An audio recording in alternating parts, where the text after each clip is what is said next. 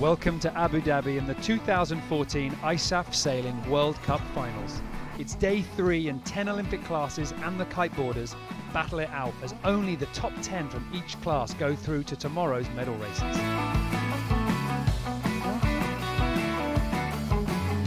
Vasily Zbogar has led the way in the tough and very physical Finn class over the past few days, scoring two wins and a second.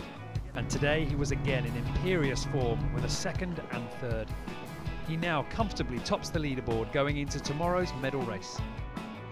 Gaspic of Croatia failed to finish a race following a collision with Ed Wright, but Caleb Paine of the USA now third overall. In the 49er skiff class, the super duo Januszewski and Novak had a disappointing day out on the water, posting a 13th and 8th place, but still sit top of the table.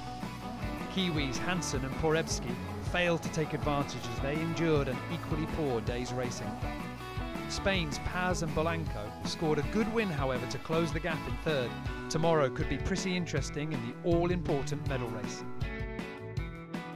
I think we have to remain as uh, a couple days ago, uh, the first and the second uh, day of racing. So we have to be confident. We have to have good start, starts, and we have to do our best. So that was our plan for the beginning of the regatta and for the end. So we'll keep it, keep with that.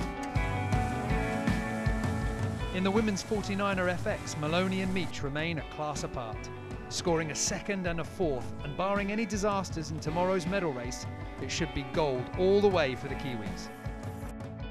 However, there could be an epic battle for second and third places between the Swedes and Italians.